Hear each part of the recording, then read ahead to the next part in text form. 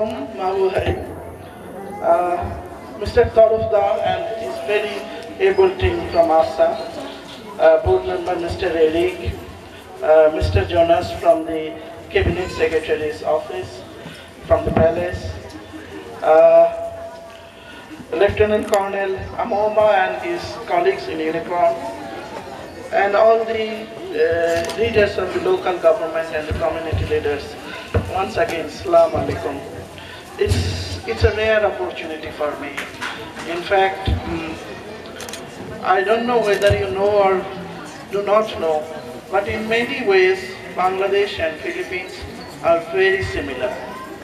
So for me, today's visit to your community of barangay is a lesson to learn how in a post-conflict situation, interventions by NGOs or the government make an impact in the lives of the community.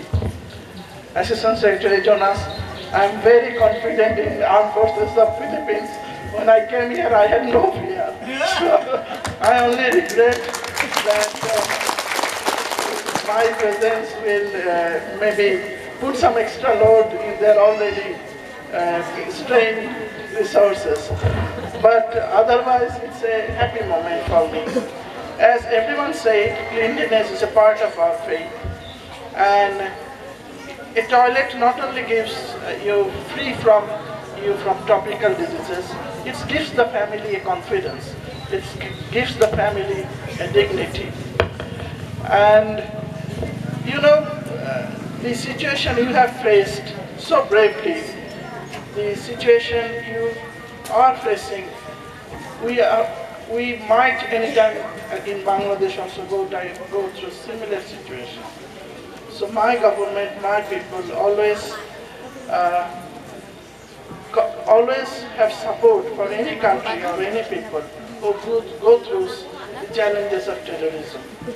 And it is in the society that, I mean definitely state and state will be doing whatever the state can do, but the resistance of orthodoxy, of ultra-extremism thinking should come from the society.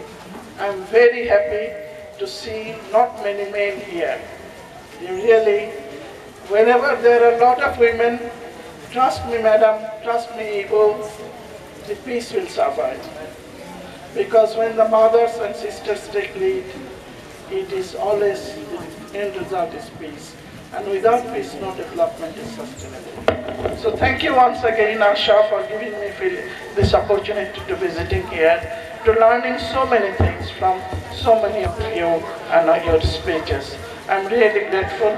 Also my uh, gratefulness to AFP and the local government. Thank you so much. Inshallah, we will have a happy Alhamdulillah.